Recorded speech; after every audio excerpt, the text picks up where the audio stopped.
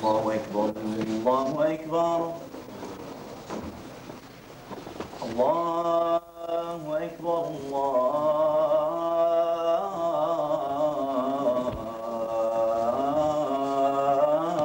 الله أكبر. أشهد أن لا إله إلا الله.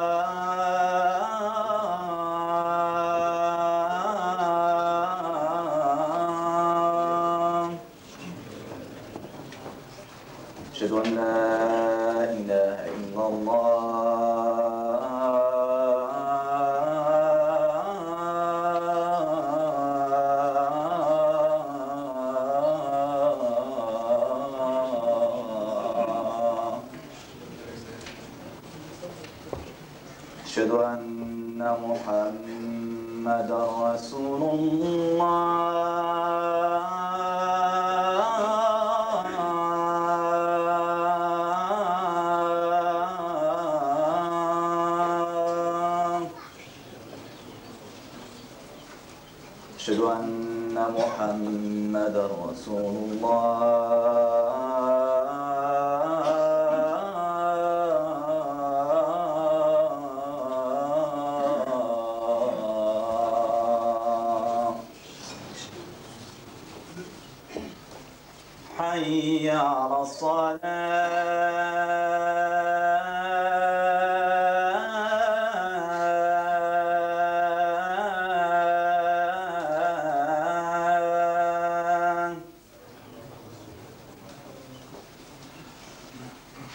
حي على الصلاة.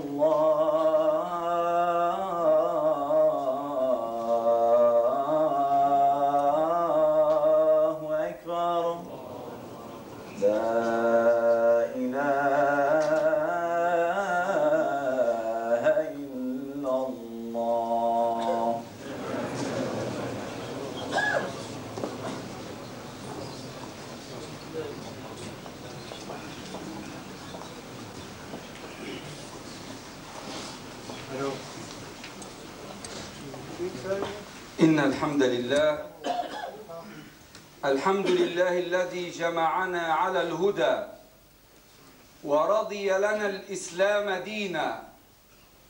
والحمد لله الذي جعل لباسنا التقوى وفضلنا على كثير ممن خلق تفضيلا. نحمده تعالى على جلاله وكماله. وعلى عزته وكبريائه ونشهد أن لا إله إلا الله وحده لا شريك له وأن محمدا عبده ورسوله والمصطفى من خلقه. أرسله للمؤمنين بشيرا وللكافرين نذيرا وللعاصين شفيعا وللضعفاء نصيرا. بلغ الرسالة وأدى الأمانة ونصح للأمة فالصلاة والسلام على سيدنا محمد الهادي الأمين وعلى آله وصحبه والتابعين بإحسان إلى يوم الدين أما بعد. أحبائي في مسجد التوبة نسير خطواتنا بعون الله تبارك وتعالى إلى ختام المسلسل شذرات من النظم والثقافة الإسلامية. اليوم الموضوع الخطير. النظام العسكري في الإسلام أو مفهوم الجهاد ونأخذ شذرات في معرفة أسس هذا النظام.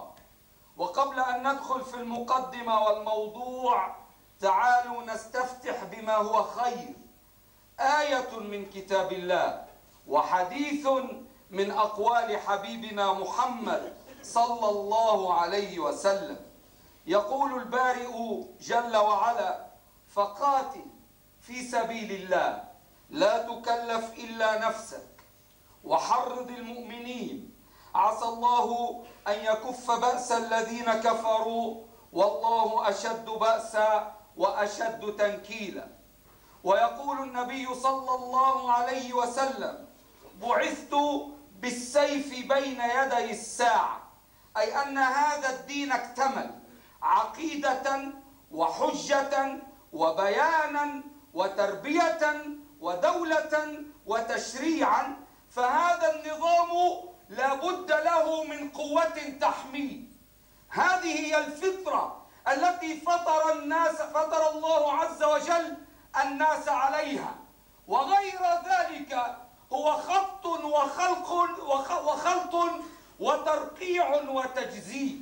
نرجع إلى الحديث النبوي حين يقول النبي صلى الله عليه وسلم بعثت بالسيف بين يدي الساعة وجعل رزقي تحت ظل رمحي. وما تفهموش الحديث غلط إخواني.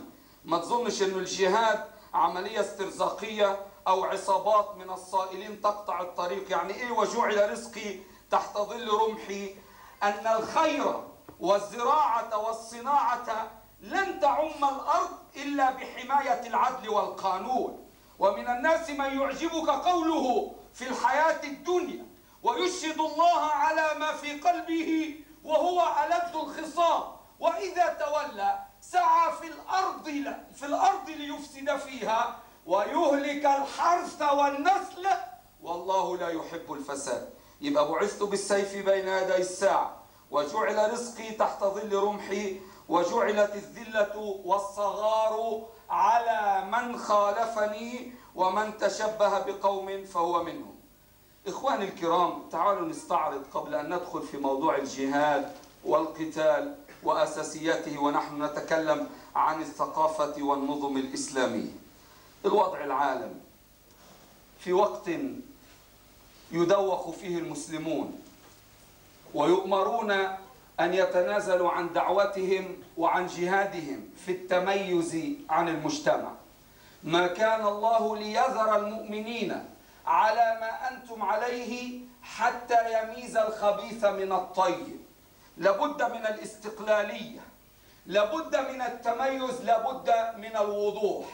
وأصبح قضية إزالة المنكر باليد والله يا إخوة كنت في لندن كما تعرفون منذ أسبوعين في الدورة الشرعية ويأتي مسلم بريطاني من أصل من جامايكا دخل في الإسلام تسعة أشهر كان يكلمني في قضية يضع منضطدا في الطرقات ولافتة من خلفه ويضع المنشورات يقول لقد عشت في ضلال وآن لي أن أنقذ الناس من هذه الجاهلية فماذا كان يناقش هذا المسلم الذي لم يمضي على إيمانه أكثر من تسعة أشهر عن إزالة المنكر باليد. في بريطانيا يتكلم هذا الكلام.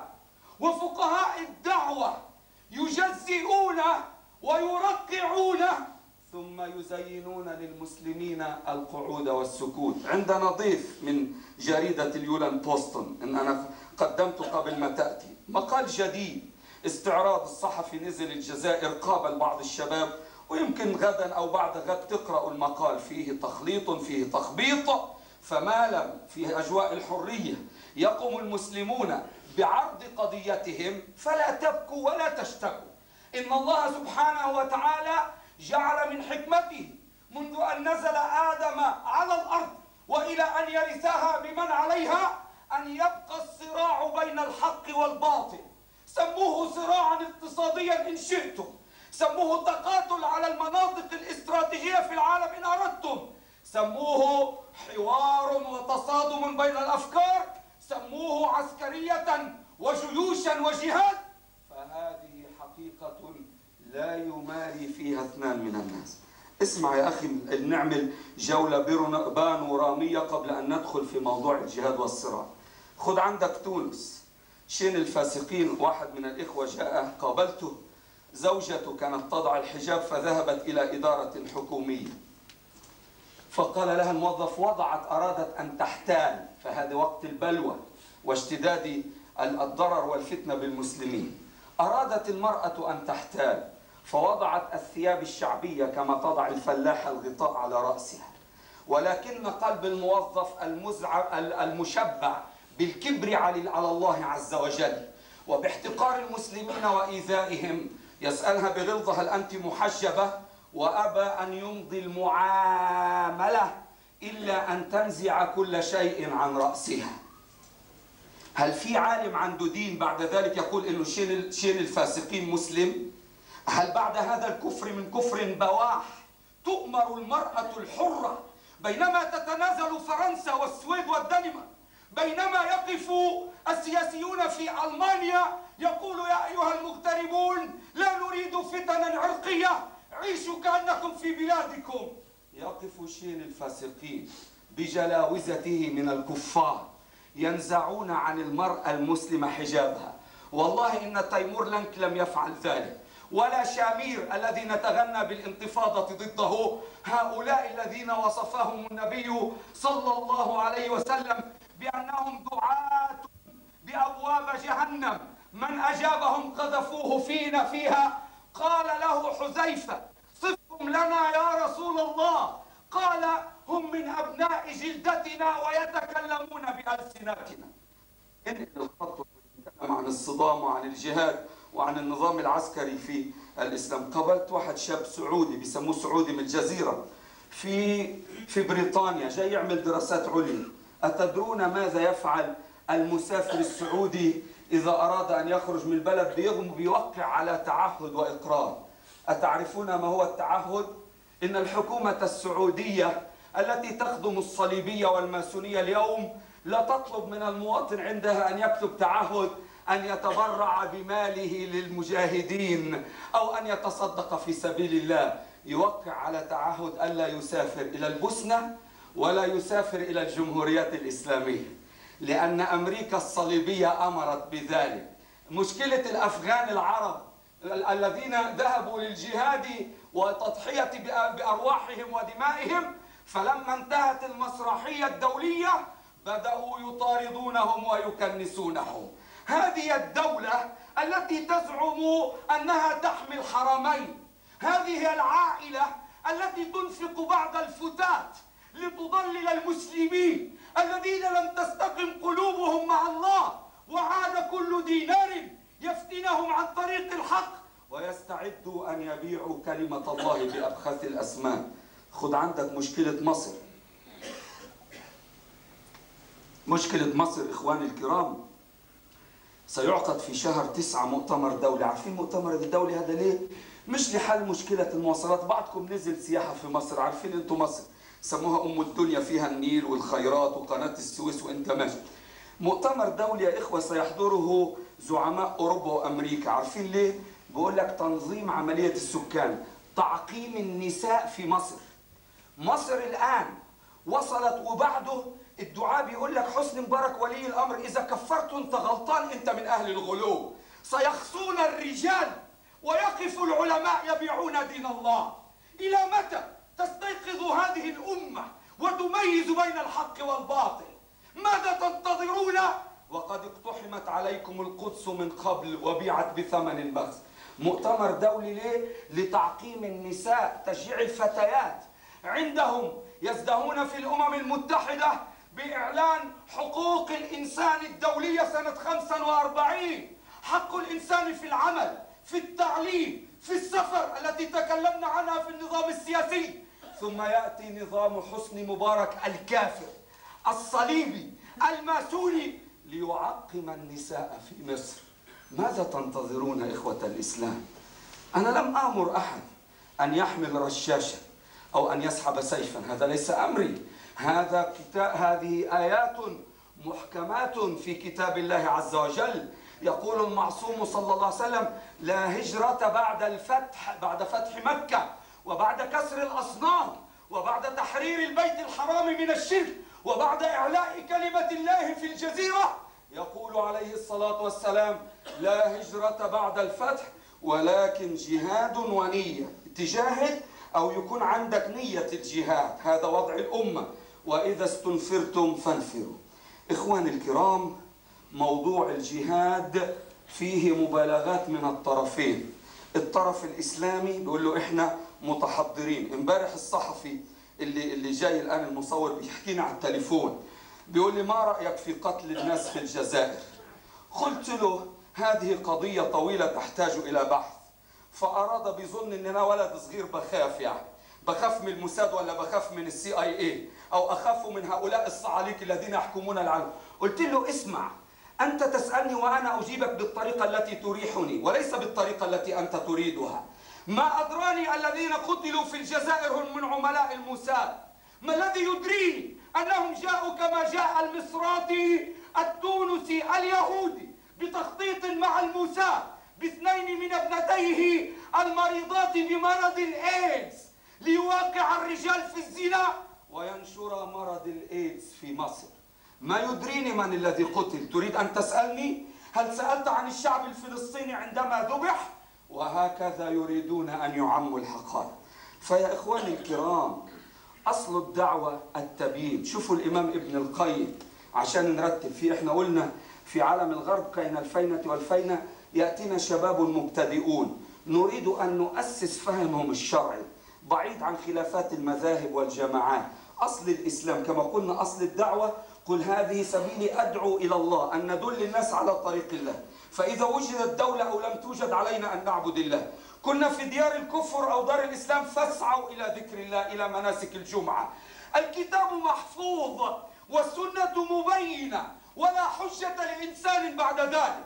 وإنما يتصدى العلماء والدعاة لتجميع الناس لينظموهم على طريق العمل الصحيح للإسلام. فإن لم يفعلوا وتدابروا وتباغضوا ووالوا أعداء الإسلام وتخاصموا فيما بينهم فأصبح وجودهم لا مبرر له.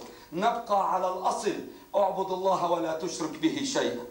فيا إخواني الكرام إيش بيقول ابن القيم؟ في زاد المعاد في الجزء الثاني صفحة 42 بيذكر الآية من سورة الفرقان ولو شئنا لبعثنا في كل قرية نذيرا. هذه سورة مكية.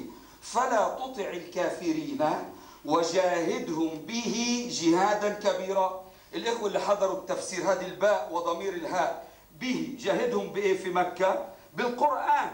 فلا تطع الكافرين وجاهدهم به جهادا كبيرا. كان الجهاد في مكة جهاد البيان والحجة. وأنا بقول لكم وبقول لنفسي بقول لحضراتكم وحضرة نفسي إن علينا أن نرتفع لمستوى الدعوة. علينا أن نقرأ. علينا أن نقف أمام الشبهات والحجج. علينا أن نتقدم كالرجال. ولا نبكي كالنساء كلما جاء صحفي أو صحيفة لتكتب باطلا عن المسلمين. هم عايزين يهزوا بدنكم عايزين يسموا بدنكم عايزين ينكدوا عليكم. عارفين آخر الترك عملوها إيه؟ جابوا تسليمة نصرين على السويد عشان يغزونا ويطلعوا لسنة أنتوا بتعملوا مساجد وبتطبعوا الكتب وتدعوا إلى دين الله راح ننكد عليكم. السويد ما عرفت تستورد من كل العالم الإسلامي رجل. أو امرأة عندهم علم أو خبرة في التعليم في الاقتصاد في السياسة راحت تأتي بواحدة نصف عاهرة اسمها تسليمة نصرين وتحطها هنا وكل شوية يعملوا عليها محاضرة عشان سيادتك تضرب لي تليفون الساعة 12 بالليل. يا أبو عبد الله بيشتموا الإسلام. طب روح دافع عن الإسلام. ما فيش وراك غير الزردة والمناسف والأكل والفتة. ما تروح تقرأ في دينك يا أخي. كن على مستوى الحوار.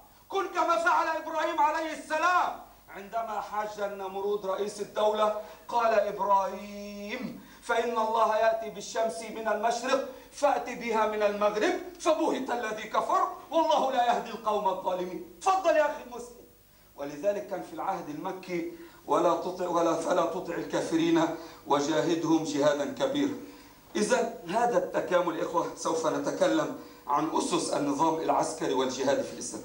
الجزء الثاني عند المرقعين. واحد من الدعاة كاتب كتاب عن النقد الذاتي في الحركة الإسلامية ورجل عذب وشرد. عارفين إيش بيقول في مقدمة الكتاب؟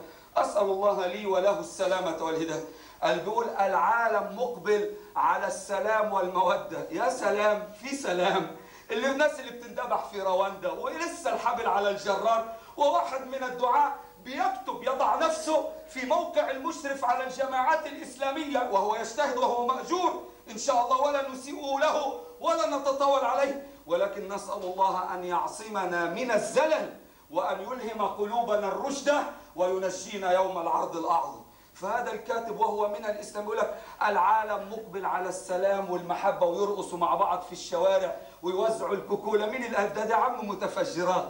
ده ألمانيا عمالها الآن أوروبا ستدخل في حرب مع أمريكا في صناعة الطائرات العسكرية. الآن السوق الأوروبية المشتركة أنتجت أحدث طائرة مقاتلة. الجناح بيتحرك والموتور بيتحرك والدفة بتتحرك وبتشتغل تحت المطر وفي جميع الأجواء.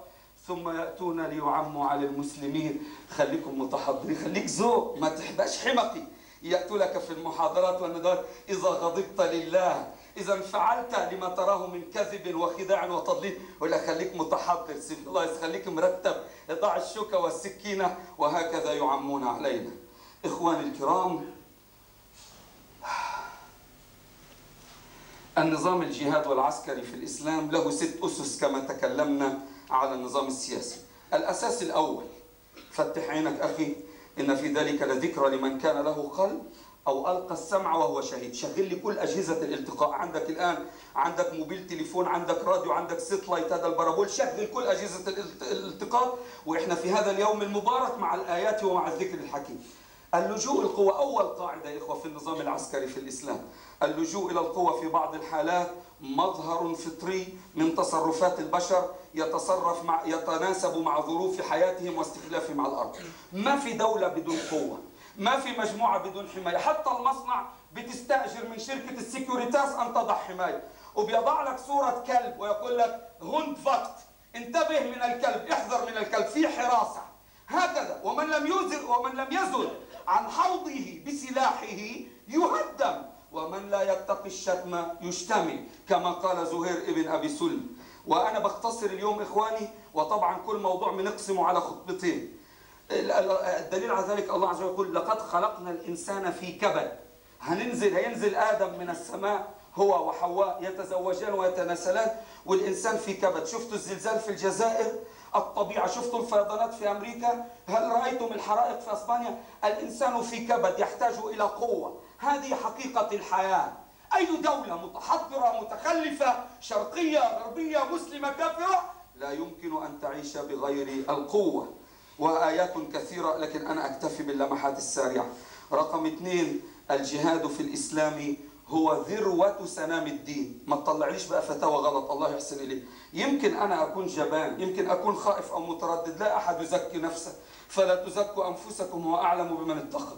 لكن نطوع دين الله ونمزقه هذا شيء مش جائز. ما يصح يا إخواني. ديننا فيه جهاد فيه جهاد وستين جهاد ومليون جهاد. اللي يحب يتفاهم معنا أهلا وسهلا. والذي يحب أن يسمع القول يا أهل الكتاب لم تلبسون الحق بالباطل وتكتمون الحق وأنتم تعلمون؟ هذه مشكلة من كان في قلبه مرض. كنت في إحدى الندوات يا إخوة هنا في ال centrum عن الإسلام وبدأت أتكلم عن الإسلام والعدالة وغيره. فوقف أول واحدة سألت وقفت امرأة. عمرها حوالي بين الخمسين والستين سنة. يبدو عليها الثقافة. فقدمها المقدم وإذا بها طبيبة في علم النفس سيكولوجي فبتقول لي الطبيبة بتقول لي أنت تدعي العدالة وحرية الرأي فلماذا تطاردون سلمان رشدي؟ أخوكم العبد الضعيف نشتغل بالمدفعية بقى. ما تنفعش. هنفضل موال أبو زيد بزيادة. قلت لها هذه مشكلتك ومشكلة الحضارة اللي عندكم. إذا كنتم تجهلون الإسلام وتزيفونه اذهبوا في جامعاتكم وافهموا الإسلام الصحيح. أنا لست مجبرا أن أدفع من أعصابي ووقتي وعلمي من أجل جهلكم ومن أجل غبائكم. فسكت الجميع على الإطلاع لن يستفزونا ولن يبتزونا ولن يستدرجوننا. في مناقشة لا خير فيها ولا نتيجة ولا فائدة على الإطلاق. يبقى رقم اثنين الجهاد في الإسلام هو ذروة سنام الدين لأنه يدل على استرخاص النفس لنصرة دين الله عز وجل من ناحية ولأنه يعكس اليقين الغيبي بوعد الله أن يكافئ الشهيد بالفردوس الأعلى. ولذلك يقول الله عز وجل الذين آمنوا وهاجروا وجاهدوا في سبيل الله بأموالهم وأنفسهم أعظم درجة عند الله وأولئك هم الفائزون. هيجي واحد يقول لي شبهات عن الجهاد في أفغانستان؟ جبت لكم مقال خطير يا إخوة وإن شاء الله نقول لأفضل في خطبة اليوم. مجلة المجتمع العدد 1107 في صفر اللي فات 415 هجرية 12 7 جولاي يوليو سنة 1094 عملت مقابلة مع الجنرال عبد الحميد جول قائد المخابرات العسكرية الباكستانية والرجل المفتاح للصراع في أفغانستان ماذا يقول هذا الرجل؟ هذا الرجل أول عمل بعد أن نجحت بنظير بوتو في الانتخابات بمساعدة أمريكا قامت بإقصائه عن منصبه من هذا الرجل؟ ما هو تفكيره؟ ماذا يقول؟ اسمع إيش بيقول عبد الحميد جول بيقول لأمثالنا من الذين يتشرذمون في الدعوة ويتحولون إلى فرق متناحرة. بيقول له في آخر سؤال أنا هاجي السؤال اللي قبله هذا آخر سؤال. بيقول له أنتوا تركين المجاهدين بيضربوا بعض الناس وصلوا إلى حالة إحباط. بيقول أنا سافرت باستمرار وجمعت المجاهدين مرات عديدة ولن أيأس في توحيد كلمتهم. ثم يقول إن لدي براهين وإثباتات أن الموساد قد غرست بعض الناس لإشعال الدم بين فرق المجاهدين. هذا رجل مسؤول كان مدير مخابرات في أقوى دولة عسكرية في شبه القارة الهندية. يقول في مسألة الصلح الصحفي زعل. كيف؟ الجنرال عبد الحميد جول يقول أنا بعرق عشان أوحد الدعاء بوحد المجاهدين. قول له طب والجماعات الإسلامية ماذا صنعت؟ اسمع يا أخي المسلم اسمع. يقول عبد الحميد جول واللي يحب يصور المقال. الشيء الآخر المهم أن العلماء والقوى الإسلامية التي يجب أن تأتي لأفغانستان تأتي للعمل وبصورة محايدة. ولكن الذي يحدث أحيانا أن بعض الحركات الإسلامية تتعاطف مع طرف والبعض الآخر يتعاطف مع قوى أفغانية أخرى مما يسهم في تعقيد الموقف أكثر وأكثر. أنتوا بتنتقدوا بتنتقدوا حكمة يار وبرهاني شوفوا الجماعات الإسلامية اللي كل واحد بيشد في ناحية. بت بت بتلوموا الأفغانيين في محنتهم. آه إحنا في المسجد تكلمنا عليهم. ليس انتقاصا إنما تبيين للحقيقة. وبعدين قبل في مقدمة الإجابة إيش بيقول عبد الحميد؟ جول بيقول العلماء اليوم بيجوا ترانزيت بيكنيك. بيقولوا له يا عم الشيخ روح صلح لنا بالناس.